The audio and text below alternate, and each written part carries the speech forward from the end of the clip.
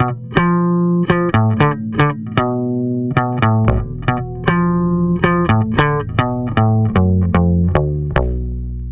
Salut les joueurs Je suis en compagnie de Laura. Laura, bonjour. Bonjour. Alors Laura, c'est un jeu assez particulier, narratif, jeu de rôle, initiation, je comprends pas tout, explique-moi. Écoute, c'est exactement ça. En fait, on a créé Roll Time, la plaine des bourdonnements, qui est effectivement un jeu de rôle, mais on l'a pensé vraiment comme une boîte d'initiation en fait. Donc tu as plein de matériel qui permet justement à des joueurs qui euh, n'ont pas l'habitude de jouer de pouvoir s'initier facilement avec des fiches de personnages qui sont très simplifiées, avec des cartes à jouer. Tu as une centaine de cartes dans la boîte, ce qui permet d'abord des notions de deck building pour des joueurs qui sont un peu plus vétérans. Oui. Euh, on a un livret de l'aventure et euh, surtout l'aventure elle est construite comme une petite série avec cinq épisodes prêts à jouer. Donc tout le matériel normalement est fait pour faciliter le travail à la fois de la meneuse ou du meneur de jeu et à la fois des joueurs. D'accord, mais il a pas, d'après les visuels, en fait, je vois pas de grands barbares euh, musclés, etc. On joue quoi exactement? Alors tu vas avoir ton barbare musclé mais qui va être un scarabée. Ah, voilà. tu vas avoir euh, ton druide qui va être un bourdon. En fait la particularité de notre jeu c'est qu'on a repris bah, vraiment tous les codes du euh, jeu de rôle classique puisque nous à la base on est joueurs donjons et dragons. Donc c'était important pour nous que ce premier jeu, on a gardé d'ailleurs euh, le dé à 20 faces, c'était un choix un peu nostalgique voilà parce que c'était important pour nous de garder euh, ce premier, en fait ce symbole de premier jeu qu'on a fait ensemble.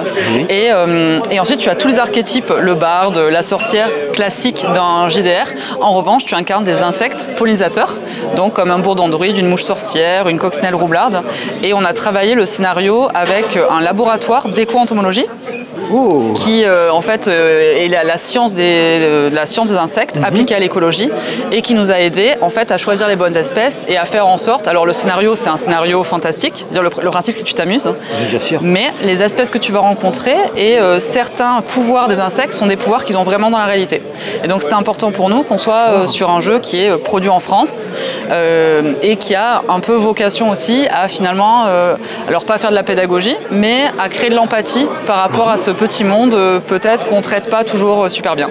Oui, c'est c'est Voilà. vrai. Mais alors, euh, tu me dis un système avec Roll20, Ouais. 5 scénarios si je résume Ouais, exactement. 5 scénarios, combien de temps à peu près? Alors, ça va dépendre du nombre de joueurs, mais c'est en moyenne une heure et demie, ça peut jusqu'à trois heures de jeu. Typiquement, quand on Oui. fait des, quand on a des tables de joueurs qui sont peu initiés aux, aux jeux d'aventure, voilà, en général c'est une heure et demie. Mhm. Après, on a fait nous des parties avec euh, des rôlistes confirmés, où là, quand on est 6 on a fait des parties de 3-4 heures sur un épisode. Ça dépend. Maintenant, on va parler un petit peu graphique, parce que Ouais. c'est vrai qu'on a un visuel qui est très très joli, qui est très attrayant. Merci à notre illustrateur, ouais. C'est qui le, gra- le graphiste ou la graphiste Alors c'est un bah, petit nouveau comme nous finalement dans le milieu du jeu. Il s'appelle Mathieu Clochard ou Mathieu Patatowski sur les réseaux sociaux. Très bien. Euh, il est plutôt, alors c'est un concept artiste qui fait plutôt du jeu vidéo à la base. Mhm. Euh, et en fait qu'on a rencontré euh, un peu par hasard par voilà, des réseaux communs. Et on a eu un peu un coup de cœur pour son travail. Il a beaucoup aimé aussi l'approche euh, ben, responsable du projet. Oui, et on, voilà. Et on l'a lancé un peu un défi parce que c'était pas tellement son style au départ. On lui a dit est-ce que tu pourrais nous faire, est-ce que tu visualises un bourdon qui soit Ouais. très, euh, très réaliste, mais qui ait un petit sac à dos euh, et, un, et un bâton de druide. Et au début, il nous a dit bah, je sais pas trop. Et en fait, bah, nous, on est hyper contents du résultat. Ah, c'est très joli, oui. Et d'ailleurs, maintenant qu'on a parlé du graphisme, parlons un peu des auteurs. Tu es autrice donc dans. Complètement, avec Jérémy, euh, on est deux auteurs aujourd'hui. Oui. Euh, C'était pas nos. Alors nous, on est joueurs. Alors Jérémy depuis euh, 25 ans, 20 ans, je le regarde parce qu'il est pas loin.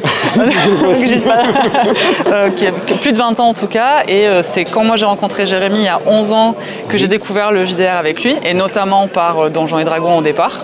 Et, euh, et en fait, c'est vraiment la rencontre en fait des deux qui a fait qu'on a toujours eu envie euh, de un jour sortir notre propre jeu, et avec euh, bah, à la fois moi qui était très intéressé par cet aspect. Un peu de sensibilisation, en fait, comment on pouvait aussi utiliser le JDR pour finalement faire passer des messages. Et puis Jérémy, lui, qui était vraiment le garant de oui, non, par contre, euh, faut que ça tape, faut que ce soit drôle. Voilà. On n'est pas là pour faire un serious game et c'est pas le sujet. Et je crois qu'on a bah, plutôt réussi à faire ce mélange, en fait, tous les deux. C'est-à-dire d'avoir un jeu qui nous, ouais, qui nous ressemble et qui, on a vraiment fait en sorte que ça, bah, que les joueurs prennent du plaisir et que ce soit aussi, j'espère, plus simple en fait. Ouais, bien sûr. En tout cas, c'est une très jolie boîte. Merci beaucoup. C'est beau. Bon, on va découvrir alors. hein. Ouais, c'est. Time. Exactement. C'est votre premier jeu. Et, Et ben, Il sort le, euh, officiellement, il sort en boutique le 2 juin. C'est ce que j'allais demander. Où ouais. c'est que je peux le trouver alors En boutique? Alors il va arriver en boutique. En fait, on a fait une campagne de financement participatif sur Ulule en novembre 2022. Donc euh, on a lancé les boîtes suite à ça. Euh, la production, donc là les contributeurs vont recevoir à partir de la semaine prochaine leur boîte.